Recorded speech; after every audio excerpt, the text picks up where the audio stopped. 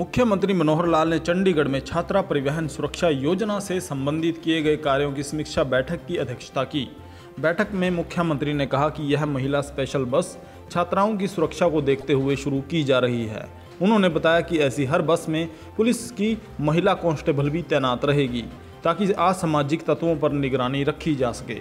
उन्होंने कहा कि शुरुआत में छात्राओं को लाने व ले जाने के लिए उच्च शिक्षा के कुछ शिक्षण संस्थानों को शामिल किया जाएगा और बाद में इस योजना के अंतर्गत अन्य शिक्षण संस्थानों को भी शामिल किया जाएगा।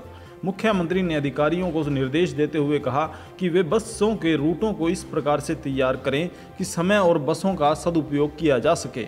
उन्होंने कहा कि जहाँ कड़ी, बड़ी बसों की ज़रूरत नहीं है, वहाँ पर छोटे वाहनों का उपयोग करके छात्राओं को सुविधा मुहैया करवाई जाए।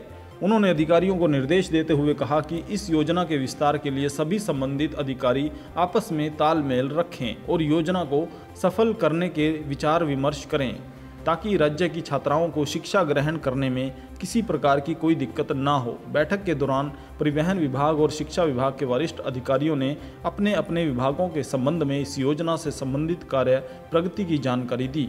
जिस पर मुख्यमंत्री ने अधिकारियों को विभिन्न दिशा निर्देश दिए। ताज़ा अपडेट्स के लिए अर्थ प्रकाश टीवी को सब्सक्राइब करें और बेल आइकन को प्रेस करें।